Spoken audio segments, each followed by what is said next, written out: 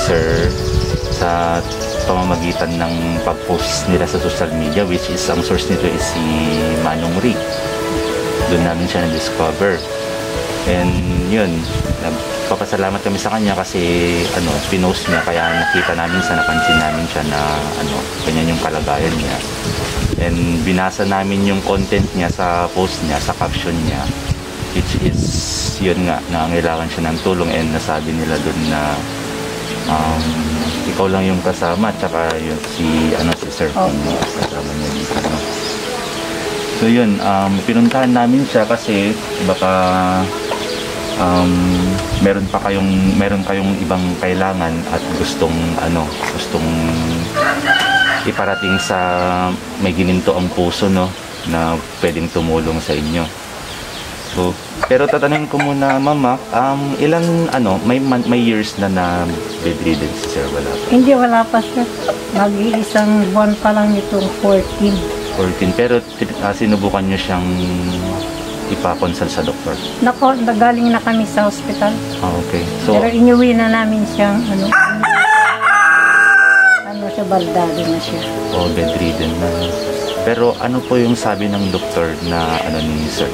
Ang sabi naman nila, yung daw sa bukol na pumutok sa kilikili niya, yun daw ang sanhi ng kanyang pagka-infection sa bones at saka sa kanyang utak.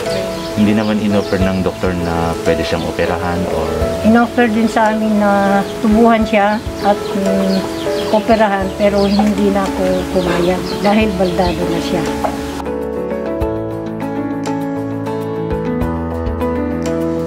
Kawawa si Sirs. Pero sa palagayan niya ngayon, ma'am, um, ano po yung ah, mga pangangailangan niya na hindi niyo po kayang i-produce? Baka sakaling may makapanood po nito pagka-upload namin sa ano sa social media at ah, tutulungan nila kayo.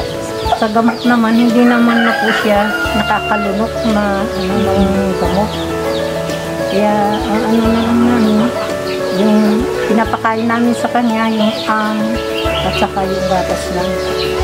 Pero nagpapasalamat din ako sa lahat ng tumulong sa amin dahil marami din naman ibinigay sa kanya mga tulong, mga gatas, at yung mga uh, sa kailangan niyang mga pad at pampers.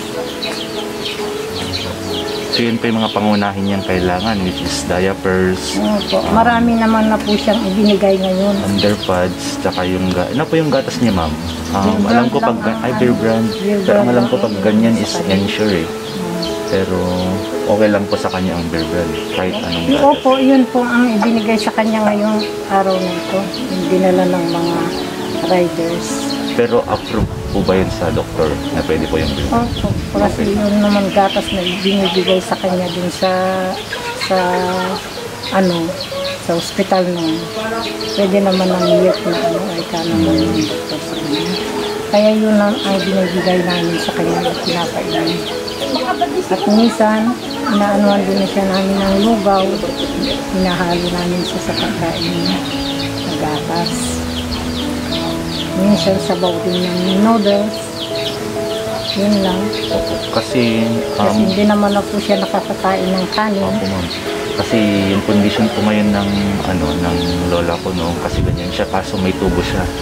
Doon pinapasok yung pagkain niya. Inalis na po nila nung Ah, meron din siyang dati. Meron siyang dati doon sa hospital, pero in- nung inumin na namin, inalis nila.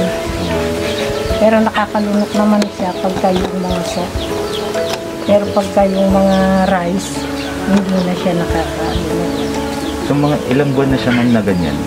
Wala pa, mag, mag-iisang buwan pa po, mm, mag-iisang buwan pa po sa 40. na bedridden.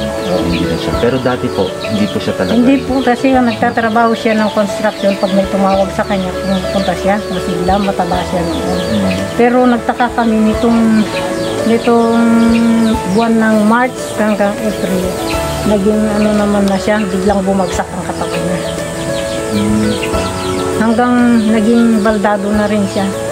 Ako po si Emma Pambid. Nananawagan po ng tulong sa inyo sa kalagayan po ng aking anak. Hindi ko po alam kung anong dahilan. At bigla na lang siyang bumagsak na ganyan. Naging baldado na siya. Hindi naman na po siya nakakakain ng kanin, kundi ang gatas at lugaw lang ang kinakain niya. Hanggang ngayon, ganun pa rin ang kalagayan kahit ipinagamot na namin siya pero wala naman pong lunas. Bal, naging baldado naman na po siya.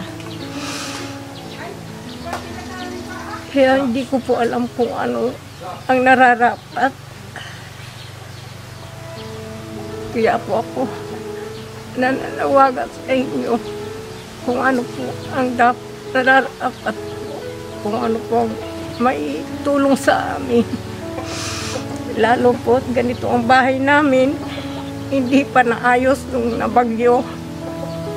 Bumagsak ang bahay namin. Hindi pa naayos tong bahay namin. Tapos ito pong aking anak, ganito pa ang ak- kanyang kalagayan.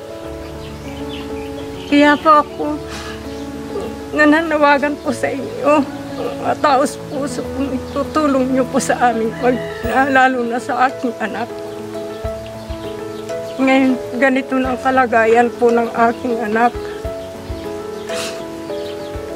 Yun lang po, humihingi lang po ako ng tulong sa inyo.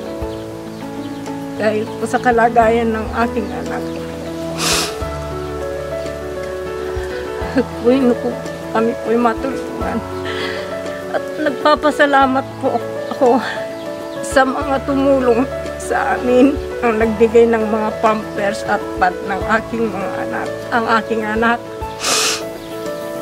At nagbigay po ng mga food supplement para sa kanya. Nagpapasalamat po ako. At kung ano man po ang may tulong ng iba sa amin. Dahil ganito naman ang kalagayan ng bahay namin. Ganito pa itong aking anak. Ako pinananawagan kung ano po may tutulong nyo sa akin. Maraming salamat po.